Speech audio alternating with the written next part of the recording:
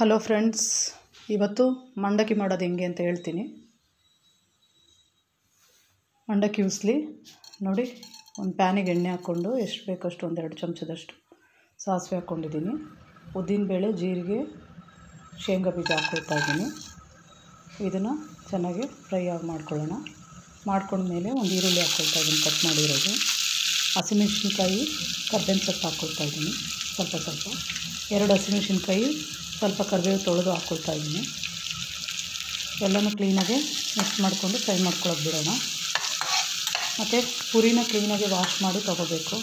ನೀರಲ್ಲಿ, ಎರಡು ವಾಶಲ್ಲಿ ನೀಟಾಗಿ ವಾಶ್ ಮಾಡಬೇಕು. ಅದರಲ್ಲಿ ಮಣ್ಣಿರುತ್ತೆ ಕ್ಲೀನಾಗಿ ವಾಶ್ ಮಾಡಿಕೊಂಡು ಚೆನ್ನಾಗಿ ಹಿಂಡ್ಕೊಂಡು ತೊಗೋಬೇಕು. ಈರುಳ್ಳಿ ಅದೆಲ್ಲ ಫ್ರೈ ಆಗೋ ತನಕ ಇದನ್ನು ತೊಳೆದು ಹಿಂಡ್ಕೊಳ್ತಾ ಇದ್ದೀನಿ. ಎರಡು ಸರಿ ವಾಶ್ ಮಾಡ್ಕೊಂಡಿದ್ದೀನಿ. ತುಂಬ ಚೆನ್ನಾಗಾಗುತ್ತೆ. ಒಂದು ಎರಡರಿಂದ ಮೂರು ನಿಮಿಷದಲ್ಲಿ ಟಿಫನ್ ರೆಡಿ ಆಗುತ್ತೆ. ಯಾವಾಗಾದರೂ ಅರ್ಜೆಂಟ್ ಇದ್ದಾಗ ಮಾಡ್ಕೋಬೋದು. ನೋಡಿ, ಒಂದು ಟೊಮೊಟೊ ಹಾಕ್ಕೊಳ್ತಾ ಇದ್ದೀನಿ. ಟೊಮೊಟೊ ಫ್ರೈ ಆದಮೇಲೆ ಸ್ವಲ್ಪ ಉಪ್ಪು, ರುಚಿಗೆ ತಕ್ಕಷ್ಟು ಉಪ್ಪು, ಒಂದು ಚಿಟಿಕೆಷ್ಟು ಅರಿಶಿಣ. ಚೆನ್ನಾಗಿ ಮಿಕ್ಸ್ ಮಾಡಿಕೊಂಡು ಬೇಯಿಸ್ಕೊಳ್ಳೋಣ. ಒಂದು ಎರಡರಿಂದ ಮೂರು ನಿಮಿಷದಲ್ಲಿ ರೆಡಿ ಆಗುತ್ತೆ ಇದು. ಮಂಡಕ್ಕಿ ಉಸ್ಲಿ ಅಂತಲೂ ಹೇಳ್ತಾರೆ, ಪುರಿ ಉಸ್ಲಿ ಅಂತಲೂ ಹೇಳ್ತಾರೆ. ತುಂಬ ಚೆನ್ನಾಗಿರುತ್ತೆ.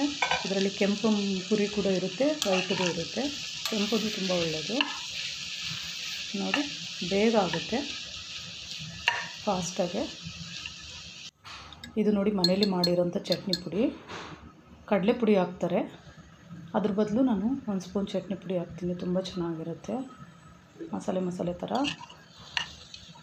ಚಟ್ನಿ ಪುಡಿ ಮನೇಲೆ ರೆಡಿ ಮಾಡಿರೋದು ನೋಡಿ, ಈ ಥರ ಆಗಿದೆ. ಪ್ಲೀಸ್ ಈ ವಿಡಿಯೋ ಏನಾದರೂ ನಿಮ್ಗೆ ಇಷ್ಟ ಆದರೆ ಲೈಕ್ ಮಾಡಿ ಶೇರ್ ಮಾಡಿ ಕಮೆಂಟ್ ಮಾಡಿ ಸಬ್ಸ್ಕ್ರೈಬ್ ಮಾಡ್ಕೊಳ್ಳಿ.